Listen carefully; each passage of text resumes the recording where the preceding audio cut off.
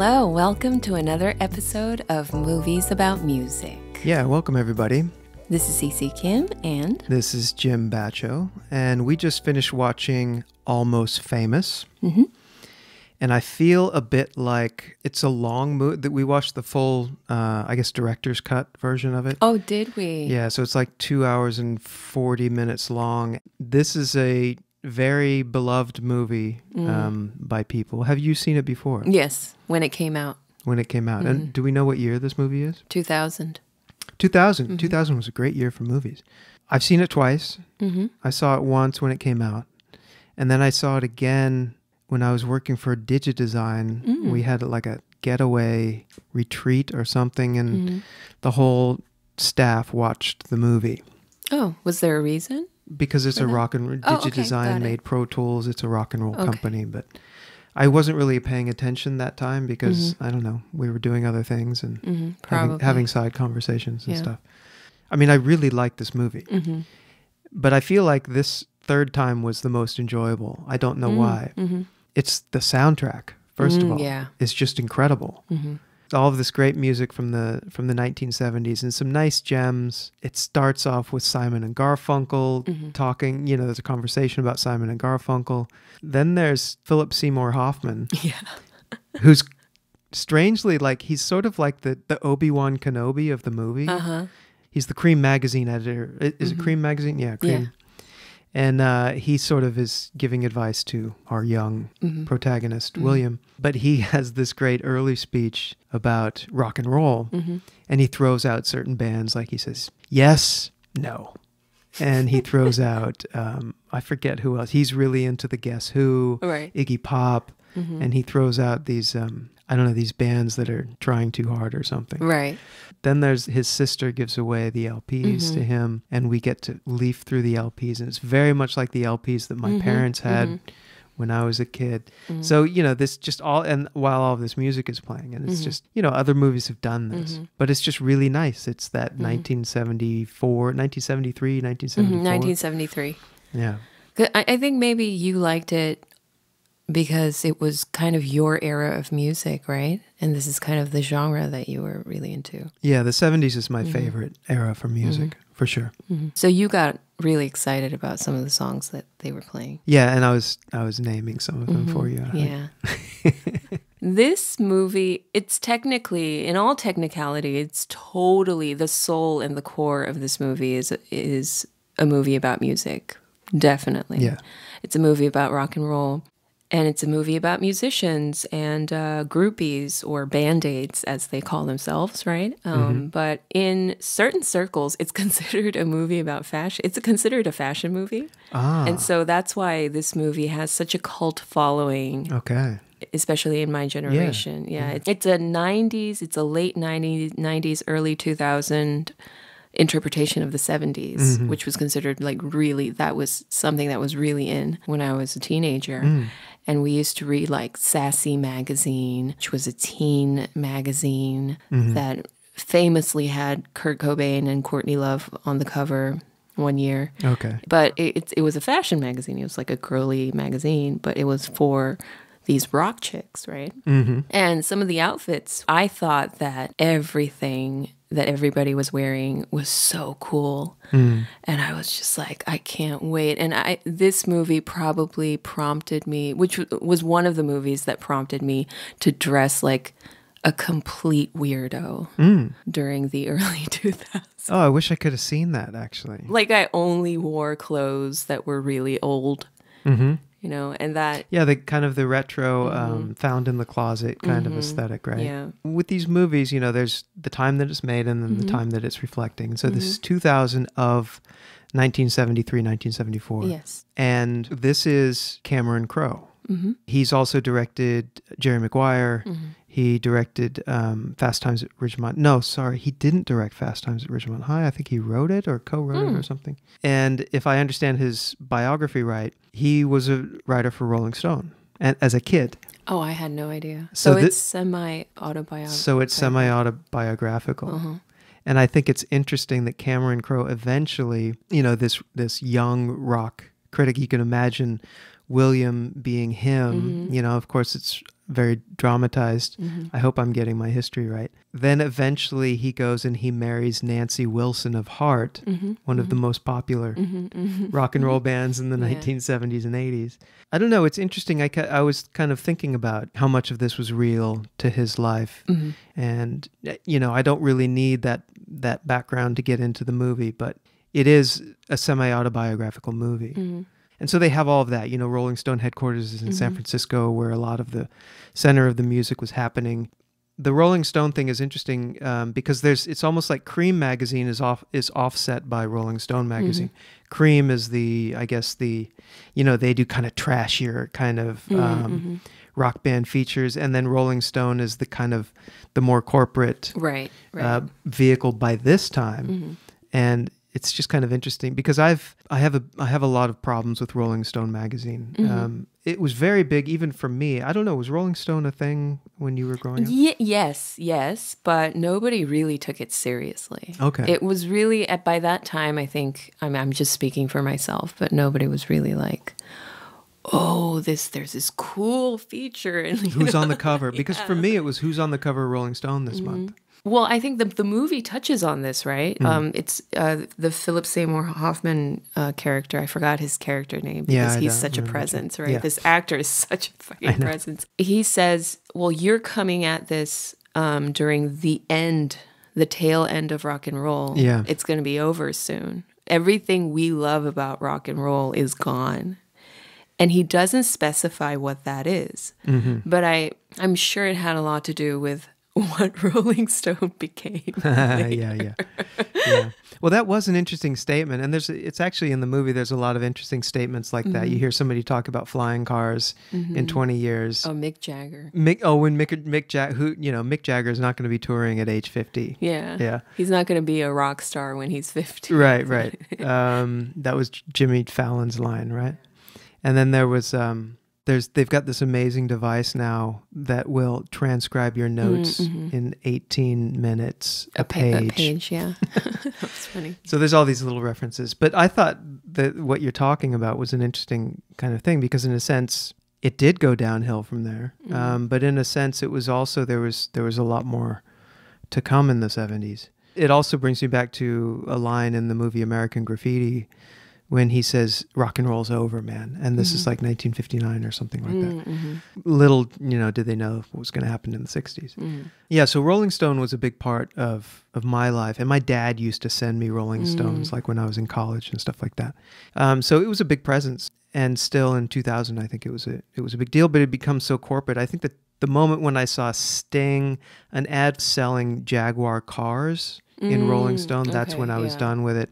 And as a and as a like a 20 year old mm-hmm. kid, I was you know actually like late 20s I'd sort of given up on it I think because it becomes so corporate mm. and it was really making fun of a lot of the music that I liked. Mm. So Rolling Stone had its own kind of definition of what rock and roll was mm-hmm. and it was the Rolling Stones, mm-hmm. Bob Dylan, The Who, The Beatles, and then you know like Fleetwood Mac and and mm-hmm. things like this, and they were always supportive of the bands that were doing drugs and and um, being rock and roll bands. Mm-hmm. And it's like this has nothing to do with music. Mm. So I always had this kind of antagonistic relationship with Rolling Stone, but they were known for doing very good covers. Mm-hmm. cover yeah, stories. Yeah, for sure. So I remember like I really got into Sinead O'Connor when she first came out, mm-hmm. and Rolling Stone did the cover story on her, and it was one of the best things I've ever read in my life, mm-hmm. and it made me like Sinead O'Connor even mm-hmm. more through that.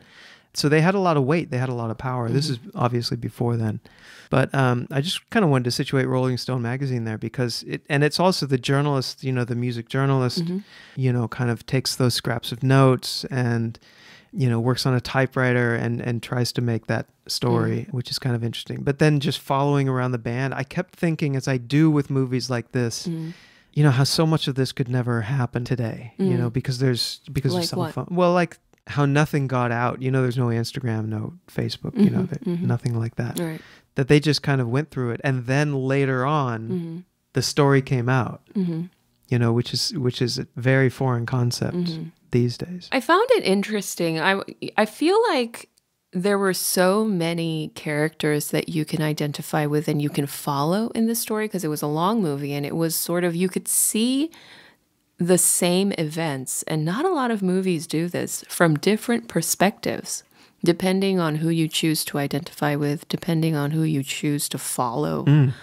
one could look at the situation from the perspective of penny lane uh, kate hudson's character um, which I, when I first saw this movie, all I remembered was Penny Lane and her outfits and like what she said and what she did and what she looked like. That's okay. all I remember. Yeah, can we stop here because we have to talk about Kate Hudson? I think because yes. she's, I to me, she's the heart and soul of this film.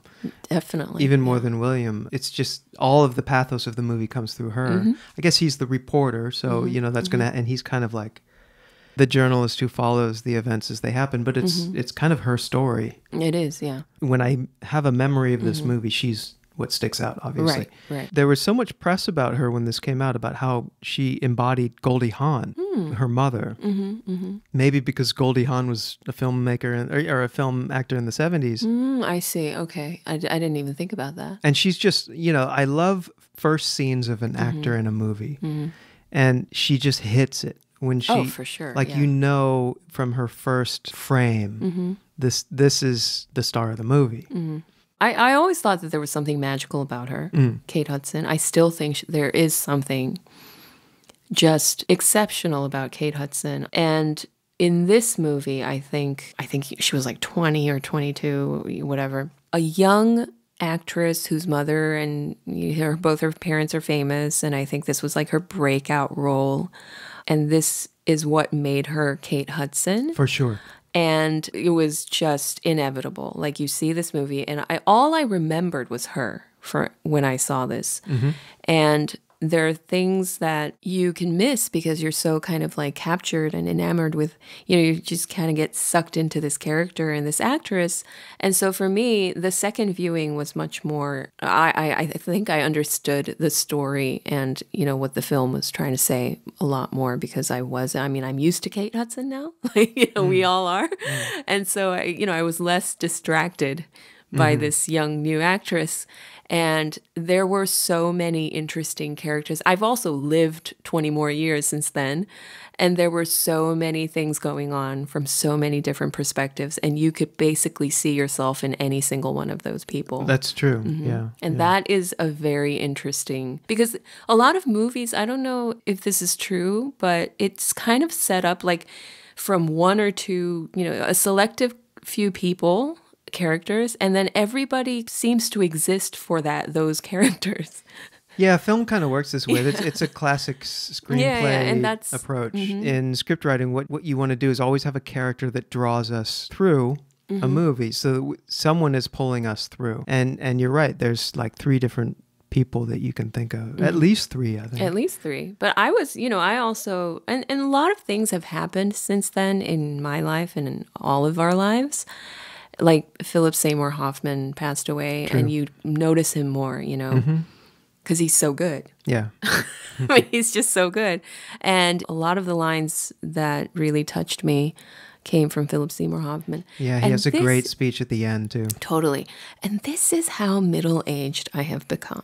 17 year old me worshipped Penny Lane and Kate Hudson all I remembered from that movie was let's go live in Morocco for one year. Yeah. And I, it was just, for some reason, I was blown away by this line. And I was just like, oh my God, I want to be exactly like her. And you kind of did do that. Yeah. And, and the thing is, like, she says, let's go there and be completely different people mm-hmm. and di- just disappear. And right. I think that was sort of like the beginning of my obsession with disappearing. I know exactly what you mean because yeah. every time I go to a different country, I think, okay, now I can reinvent myself. Totally. And back when I started doing that, uh, it was possible to do that because there was mm. no you know there there was no trace of me online you know like we didn't yeah. really live our lives like publicly right. like we do anymore um, and so that was a very romantic and attractive um, mm. idea for me that I kind of lived by and I ended up living by. But now the 38 year old me was like so moved by Frances McDormand. who is the mother of William. Yeah. And I didn't even remember this character. Mm-hmm. from my first viewing. But I was just like, this woman completely, utterly devoted to raising her children a certain mm. way that she believes is yeah. right and she's this independent like the father died of mm-hmm. something um, and then she had to raise these two kids mm-hmm. on her own and she's a university professor mm-hmm. in like the late 60s right. and 70s right an extremely intelligent woman i think she like teaches philosophy i don't know like psychology or something well it seemed like she was teaching a psychology class but she mm-hmm. said she taught English. Um, oh, okay, that makes sense. But she also has like the um, the Serenity Prayer on the mm-hmm, wall of the mm-hmm, living room. Mm-hmm. You know, and I loved how she decorated the house. It was like a humble mm. California home that mm-hmm. looked cozy and inviting, and it was just like mom. You know. So, what were some of the things that, like, as as the story went, like, what are some of the things how you were relating to her character. Well, the the basic plot is that yeah, I feel like we need to explain this. Um, spoiler alert: William, the protagonist, is 15 years old, and he is um, hired through a series of events. Through a series of events, he is hired by Rolling Stone to go on tour with this band called Stillwater and write an article about them. And he needs to get an interview with Russell, who is Billy Crudup, mm-hmm. the star guitar player yeah, who outshines the, the lead, lead singer. singer. Yeah. And that's his main goal throughout the entire movie. And he promises his mother, he's still in high school. He skipped a couple of grades, but he, so he's about to graduate. But he promises his mother that he would be back for, you know, all of his tests or whatever. And she lets him go, mm-hmm. right? Reluctantly. And reluctantly. Very reluctantly. Yes. And this is the 70s, so, you know, they're doing, she knows that they're doing drugs mm-hmm. and they're getting into all kinds of trouble, like no good. And so she, but she loves him and she wants him to have this experience. So mm. she lets him go right. and she's completely I I was just like imagining her anxiety, like every day that he's not home and he's mm-hmm. like out doing God knows what with God knows whom, this innocent little boy of 15. Who, she also lost her daughter, right? Who left home mm-hmm. early. Mm-hmm. Yeah, so there's that as well. Yeah, because she's also like a well-meaning, albeit uh, very controlling. True. mother. And so the daughter, who is played by Zooey Deschanel, leaves to become a flight attendant, mm-hmm. um, leaves home. And so she is kind of like distraught, but then she kind of.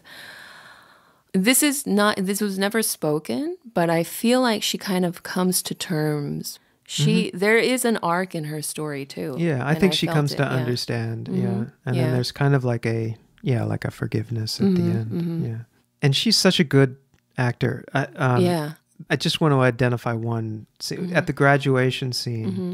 He doesn't show up for his graduation, mm-hmm. but she does. Mm-hmm. They name him and they say he can't be there.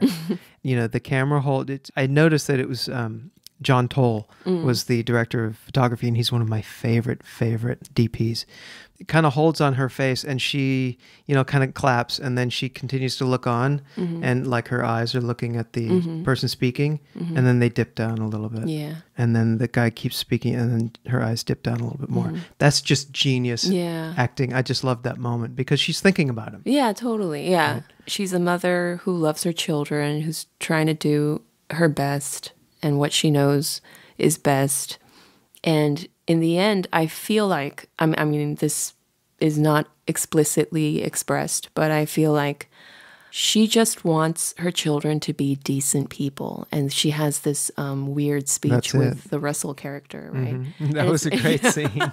he thought he was going to. Yeah. But basically, he tells him, It's not too late for you, Russell. You can be right. a decent person. Right. Right. And that went totally over my 17 year old head because I wanted to be cool. Yeah. Well, we should talk about the two yeah. worlds that are going yeah, on yeah. here because you're kind of addressing like this aspect of the two worlds and the idea mm-hmm. of home, mm-hmm. right? It's kind of like, I guess, you know, the, the, the classic story of going out on a on an odyssey and mm-hmm. then returning home. It fulfills that uh, that classic arc this idea of, of home and belonging somewhere. Mm-hmm. If there's one fault of the film mm-hmm. that I, I could point out, it's that he doesn't seem that affected. Mm-hmm. Maybe it's the acting, maybe it's the way the character was rendered. But this is the time of his life. Mm-hmm. This is the one experience that he's going to have as a 15 year old kid that is absolutely incredible. Mm-hmm. And he he is offered a home. We could say it's a false Mm-hmm. Home, you know, that they're just using him. Mm-hmm. But he completely enters into this world Mm-hmm. that he's always been in love with. Mm-hmm. And there's a strange distance, but I think maybe this is played with, you know, in the idea that the writer has to have Yeah. a kind of distance. And it's essentially, I feel like it's because it's not his story, it's Penny Lane's story. yeah. The, this idea of a false home and false friends and a fake, you know, True. And and I fantasy existence. I guess all four of those characters are dealing with this issue of Mm-hmm. Of belonging and home.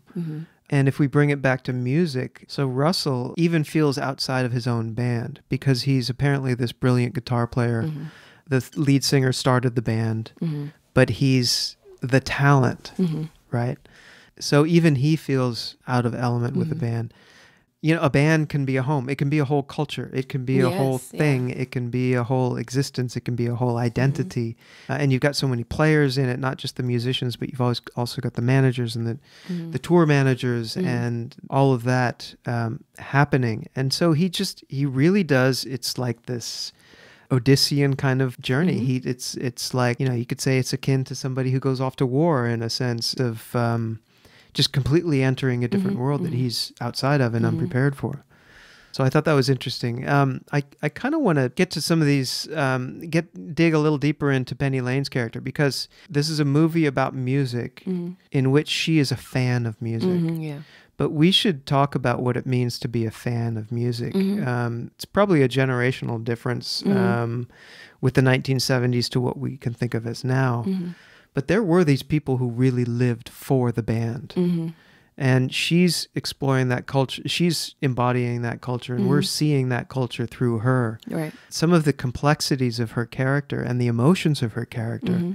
I just thought she was brilliant in this movie. Yeah, yeah. What does it mean to be a music fan to that degree? I mean, I've never in my life experienced it. I mean, it is it exists till this day and like especially in I hate to bring this up, but it, it totally exists in K-pop. There are people who live for, you know, some of these band if you can call them bands. Some people there are people there are fans who really live for um, some of these boy bands or girl bands. And they take it really seriously and it's a lifestyle and they're completely devoted. Um, obviously I'm don't get that in my lifetime, I've never been able to follow around or even, you know, take any of the bands seriously that I like. Either they were too they were too accessible or they were like not at all like hmm, yeah. in like contemporary. Right. So this is something that I've never witnessed. But but these people are not just fans, right? Right. These these these are people who have devo- almost devoted their lives. Like you Yeah. Mm-hmm. know, there's people who would follow the Grateful Dead around. They're they're you know the Deadheads are obviously famous for this. It becomes their community. I don't know. I just found her character to be extremely complex, Mm-hmm. and and the idea of love. You know, how much can we say is this love? Mm-hmm. How much is she sort of going out and just trying to experience? You know, she's actually. I think the difference today would probably be, you know, that all of the fandom now is lived by by the screen. But then that's how most of us did it, right? We collected magazines. It's really not that much difference. But I don't think that there are band aids now. Are there? Maybe there are. I would say that there are prob- there's probably like way too much security Yeah, so that's yeah, the for other that to even like begin to happen. Because today they would just be called psychotic stalkers. Like, but I do remember being deeply affected by music, though. Yeah, me To too. to the point where it's just like you can't like you just can't with yourself. Like you Right. can't handle how much you love this music. Yeah. And you know the people who wrote this fucking music. Yeah. Um, I remember that. Actually, I was listening to an interview with the um, one of the members of Jellyfish, Mm-hmm. um, the band Jellyfish, and he said something that I've never heard somebody say that completely captured what it is for me. Mm-hmm. He said, "I want a song to be something that I can live inside of Mm-hmm. for the music that he truly truly loves, and this is my feeling too, that I have to completely enter into it." Mm-hmm. And so I would not be the Philip Seymour Hoffman character. Like for me, music is not something that's a reflection of my attitude. I live inside of the music. Mm-hmm. And I think, you know, for someone like Penny Lane, she, mm-hmm. I mean, I don't know. Is she, how much does she really love the music? That's really not addressed. Right. Um, yeah. And how much of it is she loving the lifestyle, you know? It was, the music was addressed by another groupie, and that's who I'm quoting. So, okay, yeah. yeah so that, I'm glad you mentioned that because I thought about that at, mm-hmm. at the end, and mm-hmm. I can't remember the name of her character. She was kind of the 3rd mm-hmm. Like there was Anna Paquin, mm-hmm. Kate Hudson, and then there's mm-hmm. a third, and I did, yeah. never really got her name, but right. she has the great line at the end. It, she basically said what I just said, like you know yeah. that they don't. Wow, look at these new girls. They don't know what it's like to love this music so much that That's it hurts it. that you don't know what to do with yourself. That's it. So they, she was implying that they were in for the ride, the yeah, lifestyle, and the the fun. Right. Whereas they are not. They're right. really devoted to the music. Mm-hmm. With Penny Lane, that was never explicitly addressed. With a lot of the famous groupies um, in the 70s, they loved the music, but they were also kind of like these stars themselves. They mm-hmm. were famous. They were. Mm-hmm. Um, probably in it for a lot of things. It could have started with the music and then it became like sort of a persona that they yeah. adapted. And I think with Penny Lane, she represented those groupies who became sort of like the iconic groupies. You know, you're reminding me actually. I think that sh- her character was based on a real person who mm-hmm. was a, a, famous groupie, sorry, band aid mm-hmm. like this, mm-hmm. who was a groupie of Led Zeppelin. And I think. Oh, yeah, I think I heard about she this. She had a yeah. relationship with Jimmy Page, I mm-hmm. think. Yeah, and, yeah. But other bands as well. Mm-hmm. So I think she's based on a real mm-hmm. character.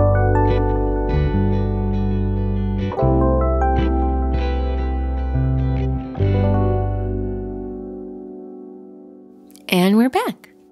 So, Cece. Yes. I have a question for you because I really do love this movie. I mean, obviously, this movie is a love of music, right? Mm-hmm. But what do you think Cameron Crowe is trying to say about music? Mm, this is what I think.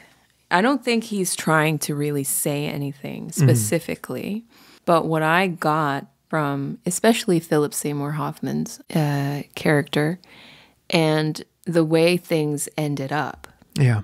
Is that rock and roll is about freedom and once the money making and all that goes into it, mm-hmm. it ruins the whole thing. Right. And the band goes back to touring on a bus, right? Mm-hmm. Because the plane, the private plane that the new manager, who was played by Jimmy Fallon, suggested would. What, what did we think of Jimmy Fallon in the movie? I don't know if he was trying to act badly. I don't. I.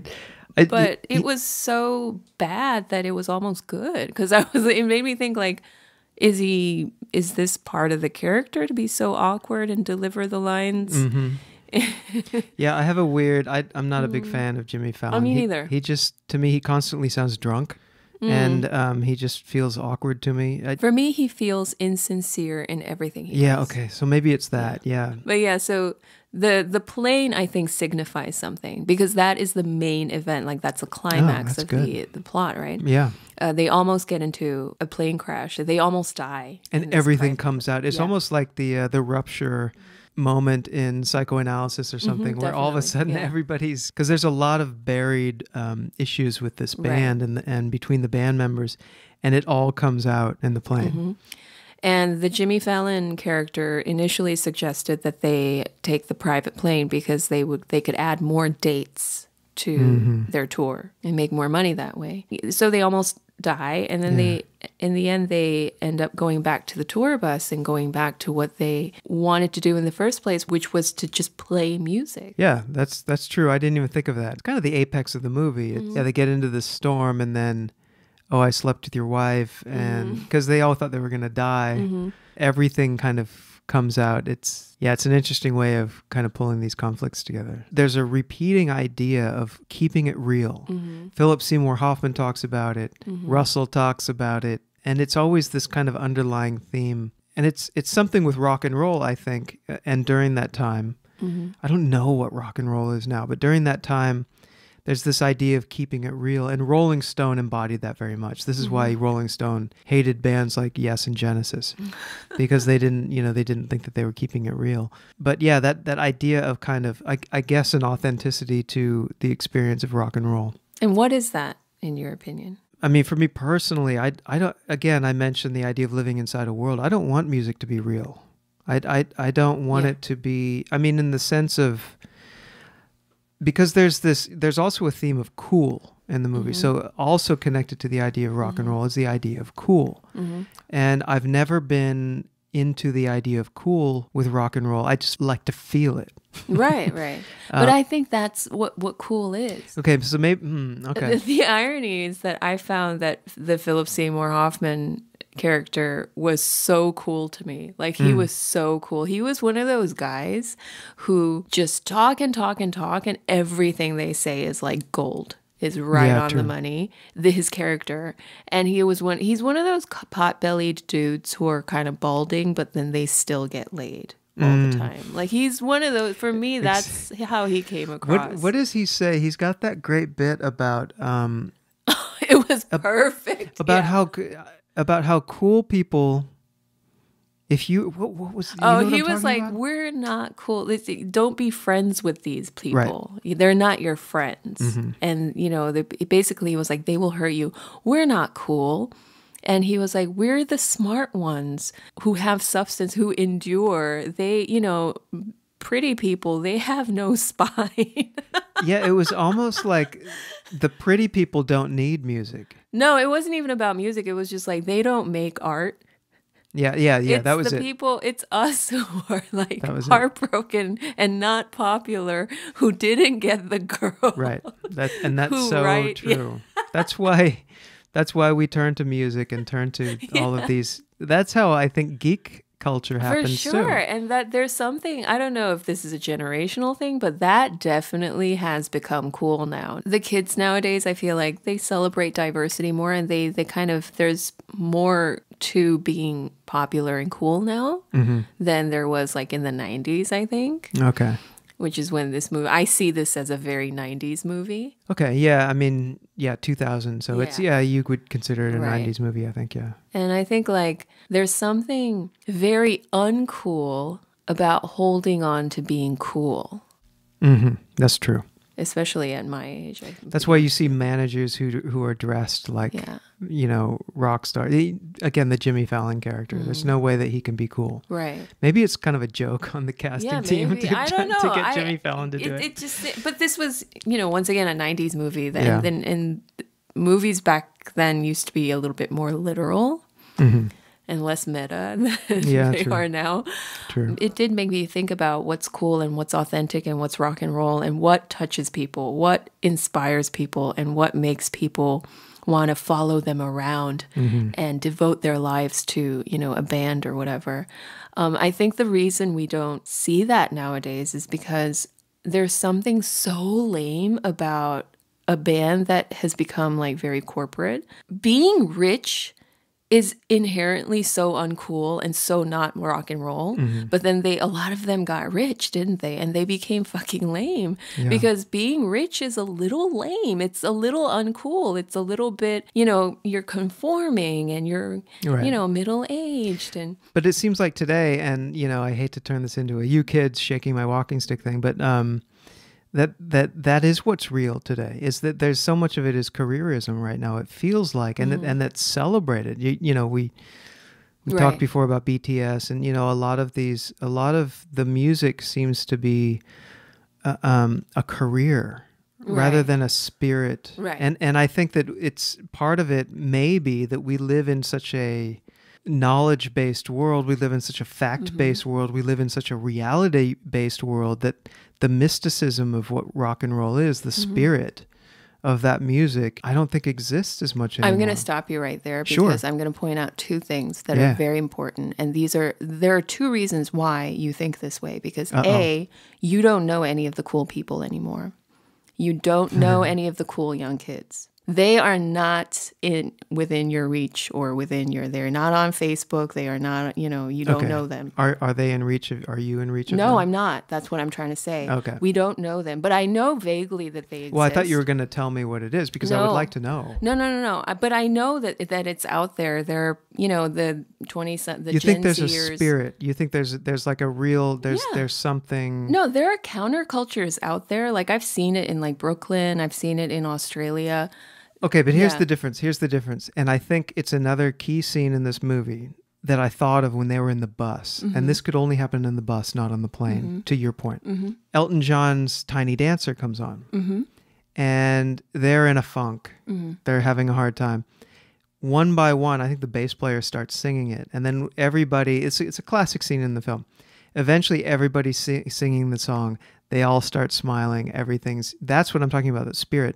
Mm-hmm. Everybody knows that song Right. right? It's a song played with instruments, you mm-hmm. know, and and it's um, you know, it was just kind of a narrower world of music then. Mm-hmm. I mean, everybody could go off and have their independent indie thing and have their little tribe. But in terms of, I mean, like a like a communal spirit Right. of the time, you know, a zeitgeist, a spirit of the times. I don't know that that exists so But much there's now. probably less of that, but there's definitely the youth is still out there doing their youth thing. Sure. Is the point that I'm trying to Yeah. make. And I never want to assume that anything is gone because the young will be young, you know? yeah, that's true. And they will be cool. Uh, we are middle aged, so we're out of touch from this culture. And I admit that. And I think it's very important to acknowledge that. Number 2 that we live in Asia where this counterculture is very hard to find and it's not visible.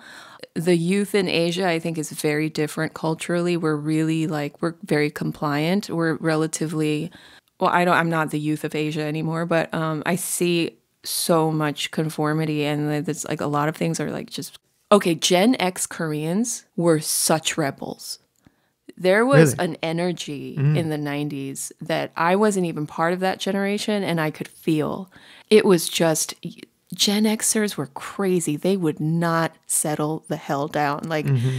and i don't see any of that i don't feel any of that from they- like my generation or gen zers like it kind of ended with gen so this X. is my point Yeah. right this is what i was saying Yeah. is is and it's interesting that you say this was happening in korea in the Mm-hmm. 90s because it's very much happening in the united states during the 90s and this is what i mean about a spirit of the time i think Mm-hmm. you combine everything from the technology of the time Mm-hmm. the distribution at the time what radio was what you know how we consumed music was different Mm-hmm. i think you're right and and you're giving the optimistic view um in terms of the possibility of, of yeah of that happening ag- again.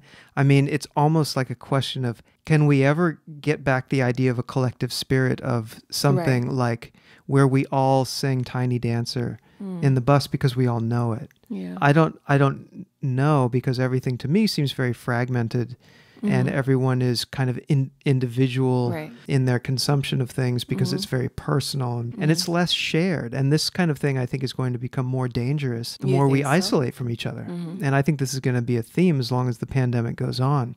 But there's just a sadness in watching people at a party in a mm. movie you know kissing each other kissing friends you know and and being together and you know concerts at big places you know mm. and things like that i mean i know that's coming back in the states but it doesn't it doesn't feel the same mm-hmm.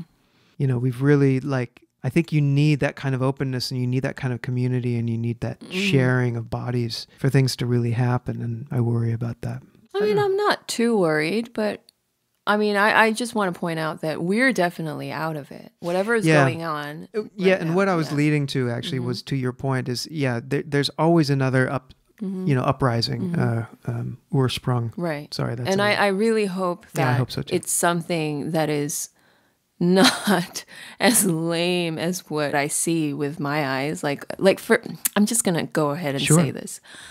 There is nothing lamer than that BTS and Coldplay collaboration. It's like that was an the awful most- awful awful song the most corporate bullshit thing that has ever i don't even want to say that it's music and i'm gonna repeat that it, this epiphany that i had the other day with our mutual friend who is a bts fan. And um, one day she was talking about bts and somebody asked her like what do you like about them? And she was like well i don't like their music. And she kept on saying that. And she said you know, I just like their spirit and they're very energetic and they give me hope, you know. it's like a product And I was like, that's fucking propaganda. That's that's not music. That's not a boy band. That that's like it's like, oh, look at those boys doing so much for our nation, mm-hmm. right? and they are, you know, honoring us all. I'm like, this is not the kind of music that I want to listen to. It's not something that I want to be part of. If anything, it's so concerning. It reminds me of like, what is this North Korea? And then the thing is, that Coldplay collaboration, mind you, it's Coldplay. It is the lamest band ever. I mean, in a sense that it's okay. They're okay. Everything, no, I, yeah. I have got a thing yeah. about Coldplay. I mean, that first album, Parachutes.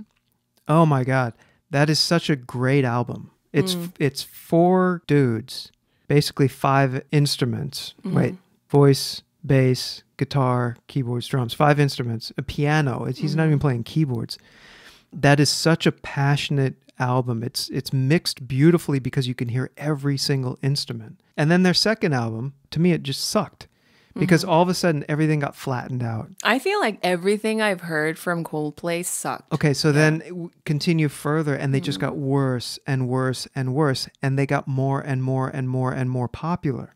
And you know Their why? music just flattened yeah. to this dead space. Because it's propaganda. It's not music. No, I'm saying that this is an epiphany that I had with this BTS fan. I was like, the reason they are so lame is because they are so corporate, right? And it's like anything that appeals to that many people. This is the point that I was trying to make earlier. They are not, they, you know, I can listen to Coldplay, I can listen to BTS, but I don't like it doesn't make me want to like drop everything and go see them in concert or whatever. There is nothing lamer than a Coldplay fan. Everybody listens to Coldplay, right? But like have you ever met a Coldplay fan? No, I'm too old. But the thing is, the reason they are so lame, it's not their fault. It's just that they have been washed down so much. They have been watered down. And I know this process. I'm very familiar with this watering down of music process that they do in this industry. Mm-hmm. In order to be so palatable to so many people, to like everyone in every single country in the world right now, because that is their reach they have been insanely watered down. Yeah. That's what I mean by flattening out. Yeah. And, and it's just like there's something so lame about a rock star that would go through that because rock and roll is supposed to be we why do we like them we like them because they don't have to follow the rules that we follow they don't have to dedicate their lives to productivity their art and their brilliance and their poetry exempts them from this life that Going we are back chained to, to. Philip Seymour Hoffman's point. Yeah. yeah, exactly. But if they themselves sell their music, you know, in a way that Coca Cola sells their products, it's so lame. Then it's just cultural production. It's exactly. just a product. Yeah. And I that's what I got. Maybe it's this the mindset I'm in, the the state of mind I'm in right now, but that's the message that I got from this movie. Yeah, yeah. So then to kind of bring it back to this idea of music and mm-hmm. and and the authenticity of the music presented, I thought it was really cool mm-hmm. that they actually so this there it's about this band Stillwater and they actually made songs for this I band know. in the movie and it's and so great. Good. They were good fucking songs. They were good 1970s style mm-hmm. songs. We watched the credits after mm-hmm. the movie. I remember that they had made these original songs for this band. First of all, the technical assistance was done by Peter Frampton, mm-hmm. who, if you don't know, is a legendary singer, guitar player from the 1970s. Just a fantastic musician, fantastic player, fantastic songwriter. And so he was kind of a technical advisor on this. I could see him all over this movie. Mm. And then you've got in the front credits, it has Nancy Wilson as the uh, music mm-hmm. supervisor or yeah. whatever they were calling it. So Nancy Wilson is Cameron Crowe's wife mm-hmm. and is also, you know, the guitarist and uh, co-singer, mm-hmm. I guess mostly backup singer for Heart. And the people who wrote the songs were Cameron Crowe, mm. Ann Wilson mm. and Nancy Wilson. Yeah, yeah. So you've got basically Heart mm-hmm. writing that music. I know, yeah. And it sounded like to me like just all of the 1970s mashed up. It, it sounded like Joe Walsh, Neil Young, Bad Company, mm-hmm. uh, all these bands from the 70s kind of in this really open groove, almost southern rock kind of mm-hmm. very American. Yes. Balls out 70s mm-hmm. rock. Mm-hmm and it was great. It's It great was, yeah. music. It was very believable that it was from an actual band in the 70s. Yeah, it, Yeah. it really added to. I, I kind of wish there wasn't much on stage footage actually, but when they did, it sounded really good. Mm-hmm. Big open drums, awesome guitar leads. I wonder who played guitar. I wonder if it was Peter Frampton who played guitar. But the guitar playing was great. It's funny, you know, this this is going to seem like a weird technical mm-hmm. geeky thing, but if you look at footage of the 1970s and anyone playing in the 1970s, you know there's two you notice there's two microphones taped together. Yeah, yeah, yeah, totally. And I've always wondered what that was. I think what's happening, and again, don't ever come to me for facts, but I think what's mm-hmm. happening is they're obviously feeding two different channels. I guess you didn't have the mixer, you didn't have the auxiliary sends in, in the mixers or something. yeah, that means that- nothing to me. Okay, sorry. no, um, it's okay. but I think it's because one, maybe one's going to the monitors, one's going to the mains, or maybe one's going to recording and one's going to front of house. I'm not sure. But that then, makes sense. yeah. So, but you see it all the time Right. in these, se- and they got that down. Right. You know, Right, right, So right. Mm-hmm. much so that they got the taped SM57s together. But I thought that was kind of cool. And then he gets electrocuted by A microphone. the microphones Mm-hmm. when he grabs onto it. Um, something which I don't think could ever happen now. The power is too well conditioned Mm-hmm. now, but in the 1970s it was a little more uh, fragile. Movies about music. I, I feel like we should talk a little bit more about Penny Lane. I, you know, I'm glad you said that because I was Yeah. thinking the exact same thing. There's there's something about that character. Mm-hmm. Um, if I may, um, you know, there's the idea, and this is this film was made before this became an idea, Mm-hmm.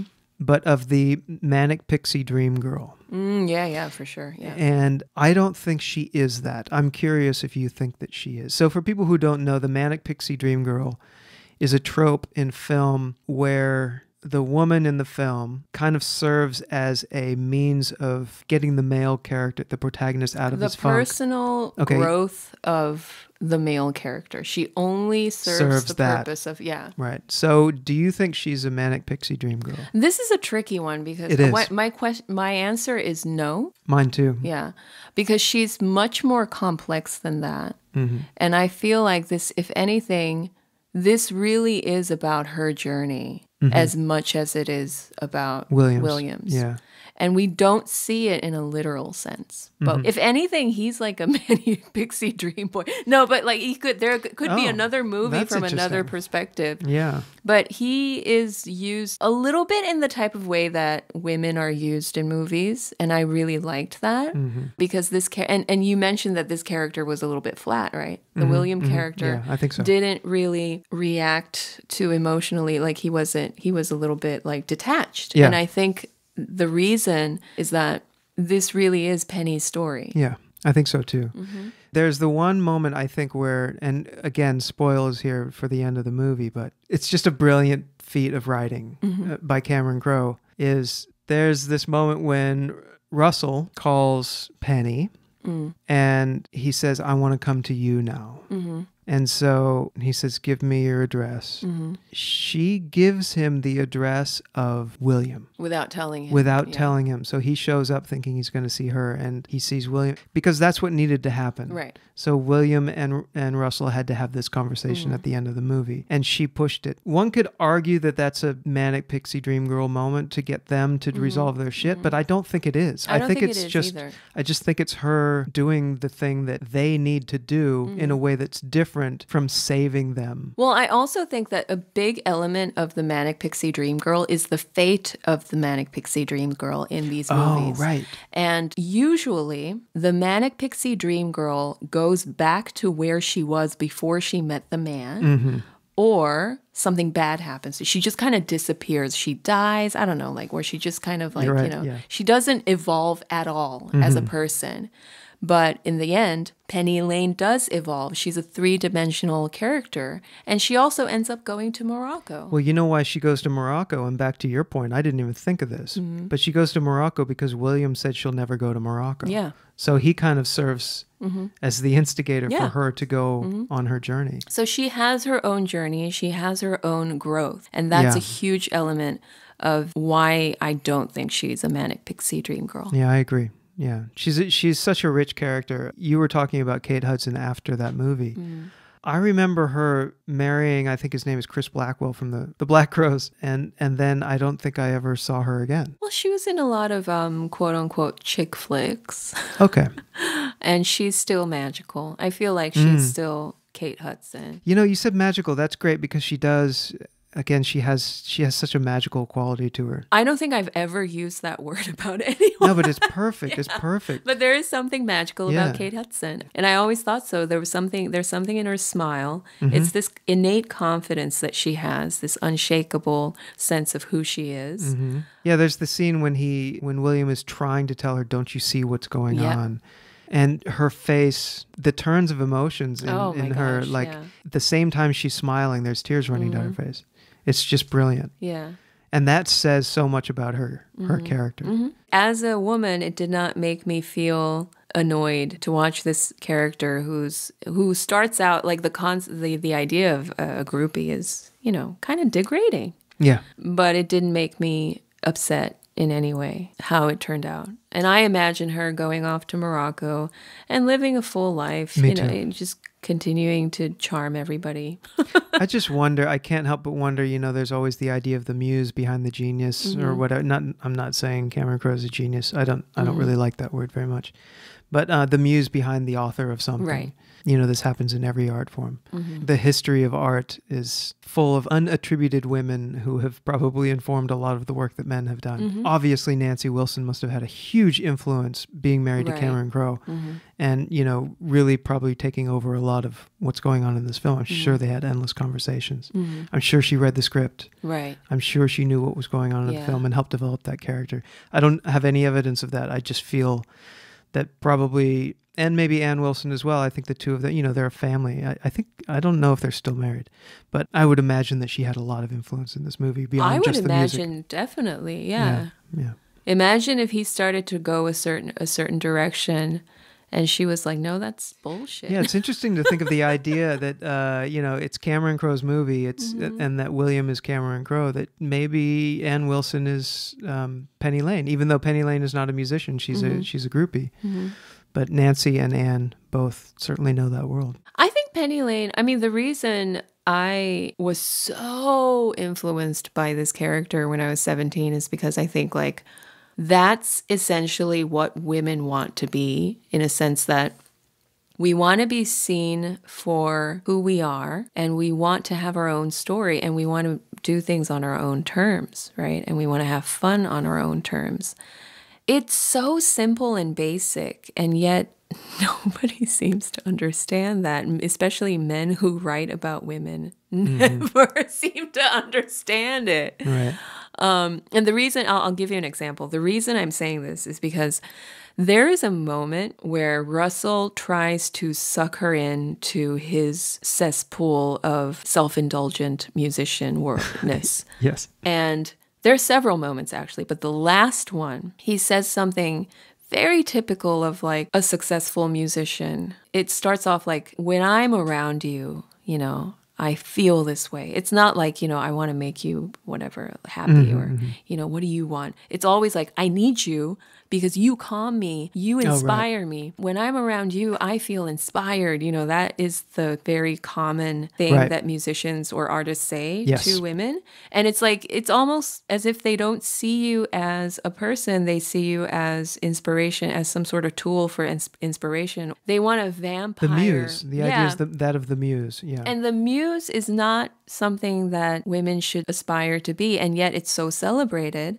But that's the reality of the muse. Like your energy gets sucked out by this very selfish and indulgent person who thinks he's entitled to everything, all of your energy, who thinks that you should be there for all of his needs all the time, but he should also seek out inspiration elsewhere because he's doing such important work. He's inspired, you know, he's making this music, he's making this art. Well, so it's almost like then Russell's character and he's not a horrible person. He's not. It's yeah. almost like he's trying to draw out the manic pixie dream. He is, and he that fails. she refuses. Exactly. Yeah, yeah, that's exactly what I was trying to say. Again, doesn't the film end with her leaving?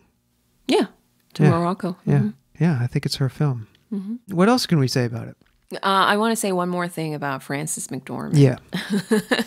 Again, she's just fantastic. It's, She- it's a it's a smallish part. She doesn't do. I mean, she doesn't do much. Like she doesn't have plot. Mm-hmm. But yeah, She's such an amazing actress. And um, the reason I was so touched by her this time around is because when I was William's age, I didn't know how important her values were. You know, her values are you have to be a decent person. Don't do drugs. It sounds very simple and very, it sounds very cliche, but it's like, I didn't know how harmful drugs were when I was his age.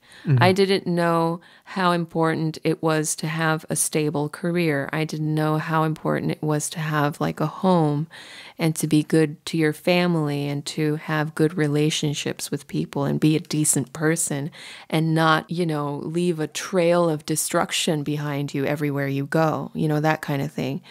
Um, when we're young, we tend to glamorize these things but that's not the the life that I want anymore as an adult. Now that I think of it, it's like I, you know, I, I'm glad that somebody was there to guide me. Like, and and I think she reminded me of my own mother. Mm, yeah. And so, you know, she's a teacher, very respectable, you know, occupation. They're decent people, you know. She's like a decent person Right. who's doing her best. And what I noticed this time around was that she gets it. She gets why he wants to go follow these rock stars around. I think she thinks very highly of him too. Mm-hmm. Yeah. And that is a great way to write about a woman, especially a mother. She's not the traditional, like, nitpicky, you know what I mean? Like Yeah, somebody who yeah, doesn't yeah. get it. Because the The mother, helicopter. is, She's not a helicopter mom. the mother is always somebody who doesn't get it, you know? Right. And she's like, Well, and can be the like the butt of the joke, or Right, or be the foil to. yeah. You know, she can be the the conservative restraint to mm-hmm. you know mm-hmm. the need to mm-hmm. fly. This, the person who, who is getting in the way, who doesn't get it, who doesn't understand anything, and who's at home like cooking biscuits all the time, and you know she just wants you to be home eating these biscuits. She's not that in this movie. I don't know. Maybe it's because I'm approaching that age. I really liked seeing that. Well, I think, but I also think your relationship with your own mother has changed. Yes, definitely. I, so you see the movie in different way. You say you see this movie differently than you did when you were younger. I always saw her as somebody who was getting in the way of all of my fun. that's that's that's exactly the sacrifice of parenting. I think. Um, and now I'm just like, thank God she got in the way of this fun that I was trying to have. But not in a way of restricting it. No, but thank God she was there. Yeah. You know, Yeah. So, my sister Linda actually came up with this idea. She said, Why don't you tell us what the next film is going to be so that when we're listening, we can then go watch the movie before your next podcast? yes, that's a great idea. Uh, why don't you tell us what the next movie is going to be? The next movie is going to be Mr. Holland's Opus. That's right, mm-hmm. which you've seen and I've never seen. Mm-hmm. So, with that, thanks for listening.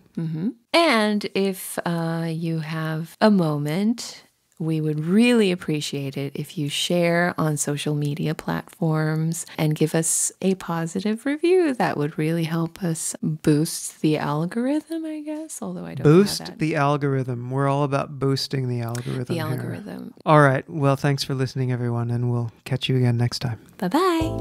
Under the moonlight, I'll sing you a song. So you'd magically feel a lot less alone. Hopefully, they'll live eternally. If we paint ourselves all bright with stories of heroes and poets and sadness and war, of immeasurable pain, unconditional love, movies about music.